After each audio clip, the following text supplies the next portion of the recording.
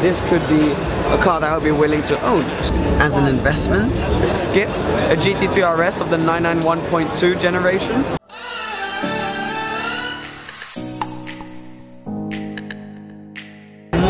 Morning! I'm back at the Geneva Motor Show spontaneously.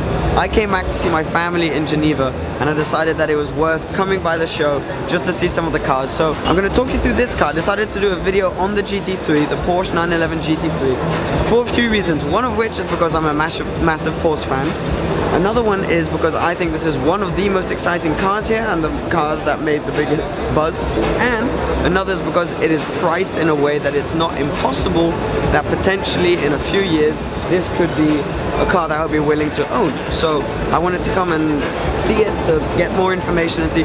In no way does this mean it's a car that I'm going to be getting now or in the near future, but it's one of those cars I'm aspiring to get to. So one car that I've been super interested in and I thought I would share with you guys.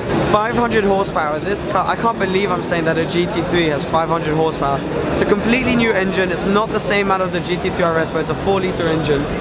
I imagine it will sound amazing, but the big news on this one is it's a manual gearbox car. So depending on what will happen afterwards with uh, GT3 RSs, I've heard rumors that they're going to actually skip a GT3 RS of the 991.2 generation, and they're just going to go straight to, I guess, what will be called the 992 generation for the GT3 RS. So normally what will happen is we'll have this GT3, then a GT2 RS version based on the facelifted car as well, and then no GT3 RS, and that will come later when they've redone the whole model range. Which is one of the reasons why I think this might be the golden car, because it might be the last GT3 with a manual gearbox, naturally aspirated engine.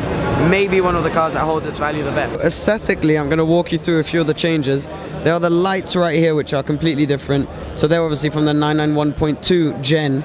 Uh, and then apart from that, I mean, there aren't huge differences. You got the little 4 litre badge under there. GT3, obviously. It's in a very, very funky color. I'm not a massive fan of the color, if I'm honest. It's got central locking wheels. Again, nothing new there. Basically, most of just under the skin is new on this car. You then got in the front different LED lights. So I don't know if you can see it down there. There you go. The different LEDs there. Different headlights in the front and a slightly different input. It's actually got 20% more downforce as well on the exterior. So yeah, this isn't going to be a massively long video about this car. It was mainly just to show you around it and show you one of my favorite highlight cars of the show. But here it is from the exterior. I think we should hop inside and see the inside. We're inside the new GT3 then, 991.2. Not that much to tell you about on the inside. It's got a full Alcantara steering wheel, which is slightly wider than it used to be. Uh, this particular one also has the sort of central pointing angle. I don't know what the official name for that is, but I really, really like it when a car has those. So that's the main difference. Steering wheel design, slightly different. Again, no bullshit, no buttons. The whole car is fixated towards your driving all of the instrument clusters exactly the same. You've now got available these 918 styled seats with a slightly new looking stripe down the middle of them, which looks absolutely fantastic and they really hold you in nicely. And a slightly newer screen. So a tactile screen, which is slightly different to what it used to be, but not a massive difference. Apart from that, all of the buttons are exactly the same. Red stitching in this particular car, carbon, which is an option, and this one is actually fitted with the PDK so eventually you will start seeing some pop up with the manual gearbox. I don't know if that's going to be the 7 speed or I think it will be the 6 speed basically out of the 911R the same gearbox. So that's why this car is so interesting because it's a manual car with a naturally aspirated engine based on the GT3 body and potentially there won't be an RS coming with it so I think that this could potentially be one of the greatest cars as an investment um, to come out. Obviously to drive would be fantastic. And if you got one even as an investment you would be able to put some miles on it and enjoy it. And I think it would be really good but it could potentially be the best way to enjoy a supercar without worrying about the value of it too much because you could use it take it to track days and do all of this and at the end of the day still sell it for I think would be probably the money you initially bought it for. So very very interested in this car um, I think it's a fantastic looking car they haven't tweaked it too much but they didn't really need to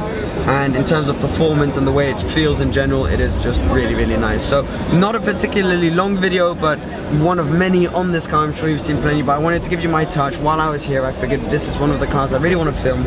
I'm going to be doing another video uh, on the Renault Alpine, which is going to be a car that I'm actually genuinely, genuinely considering putting a deposit down for. So I'm going to go see it now and try and see if I can make my decision up or what's going to happen. So that will be the next video coming up. Thank you for watching, as per usual, and I hope you enjoyed it. Please comment down below if you want more of this kind of stuff, and I'll see if I can produce more in the next couple of days being in Geneva. Thank you so much, guys. Please remember to subscribe, and I'll see you soon. Cheers. Bye. Serenading them hoes. There's no Julie.